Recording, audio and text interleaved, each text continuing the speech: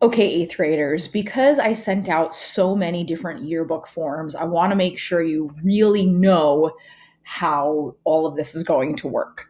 So, first, we've got this eighth grade yearbook quote form. This one's pretty simple.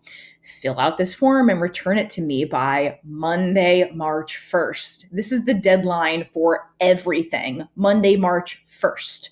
So, first of all, you need to pick a quote that is appropriate for school. That means there's no foul language. It's not going to hurt anybody's feelings. It's not offensive. If you're really not sure about it, chances are you probably shouldn't use that quote. If you have questions about it, you can bring it to me. Your quote can reflect who you are, what you are interested in, how you feel about the world, but think carefully about what you choose because this is going to be in the yearbook forever. So it's going to make some statement about you.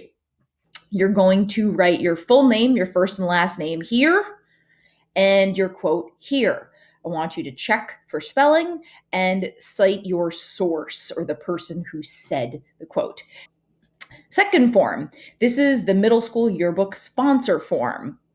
Um, a sponsor message is something that your grown-ups or another family member might want to write to you to include in the yearbook. So this form is for your grown-ups.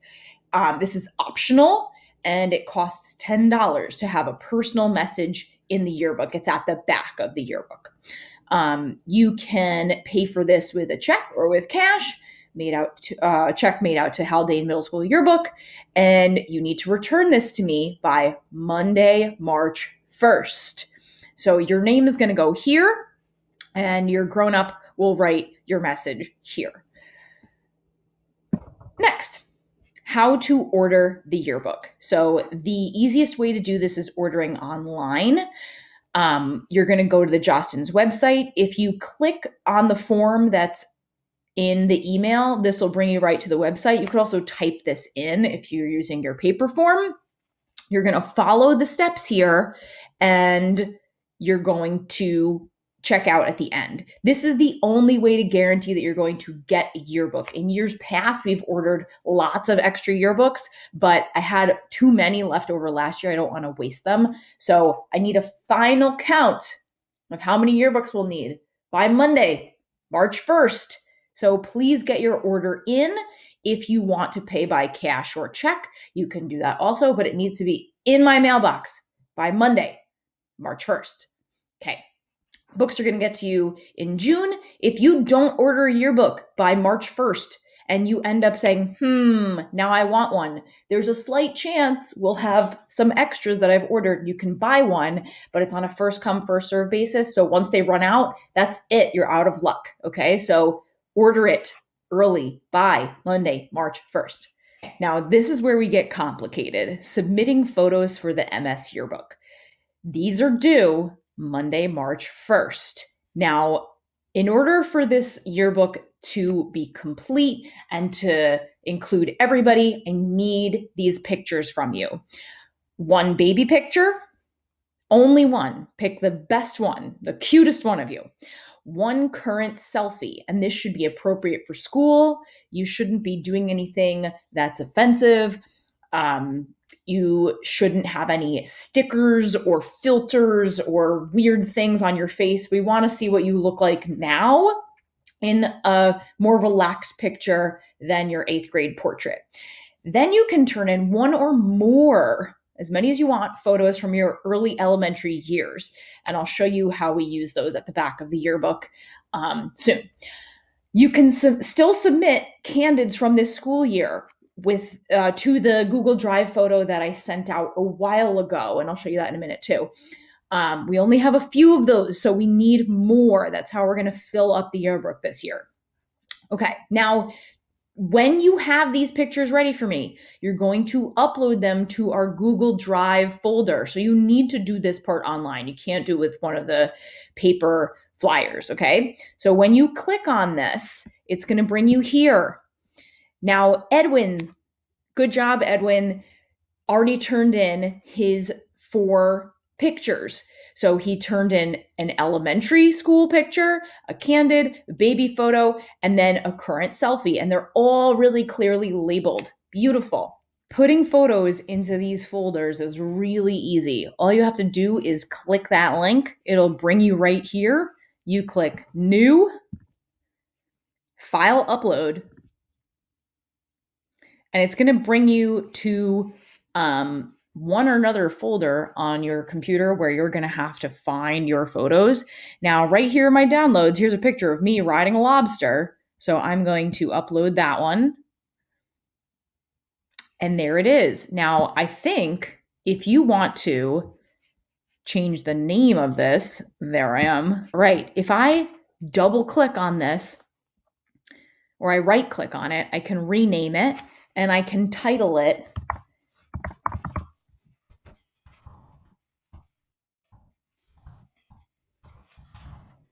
Cool. Miss Branco riding lobster. So even if you upload your picture and it's not labeled, you can go back in and rename it. Make sure that you label your photos though, okay? You have to label it with your name and the description. Jane Doe, your name here, baby picture, Jane Doe selfie, Jane Doe early elementary. If you put them in that folder unlabeled, it's going to be very hard for me to figure out who they are. And there's a chance they might not make it where they need to make it. Okay. If by some chance you can't submit your photos online and you have hard copies, you can leave them in my mailbox, but they are due Monday, March 1st. Okay. Now, this is that folder that I included in that flyer.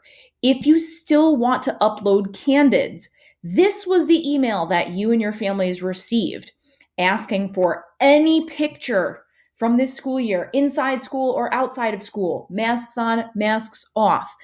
And right here, there is a link that will bring you to this folder. This is all of our candids and you don't have to label these i know if you want to upload like 20 at a time it'll be annoying to label them so you can just put these in here and that's fine um this is it looks like a lot of pictures but this isn't going to be enough to fill up our book. So i really need you to look through your pictures you've got from this year and send me as many as you can. Group shots single shots whatever. Please just send them my way. Now last thing. I want to give you a little look at what the yearbook looked like last year to give you a sneak peek at what I'm going to do with your pictures. This page is the eighth grade Candids page. Now, we're going to have more of these pages because we're not going to have sports pages. We're not going to have um, some of the special events that couldn't happen because of COVID. So, I need a lot of Candids, and we'll put these together to show all the awesome things that happened this year. And here's what your baby picture pages will look like. You'll have the picture of you, so cute. Then your current selfie. Next to that, you'll have your quote. Now, if you don't turn a quote into me, this part next to your picture is going to look pretty empty. So we want everybody to turn in a quote so that the book looks really nice and neat and full. Okay, next, this is how we're going to use all of your early elementary school pictures. These pages at the back are called through the years. So group shots look great, but we can also put in single shots. Send me any pictures that you have that are old. Just make sure that they are clear. Blurry pictures can't go in. Um, and please label them. This is the sponsor page, just so you can see what these look like. Um, if you add a very, very, very long message, the words are just going to be kind of small. Okay.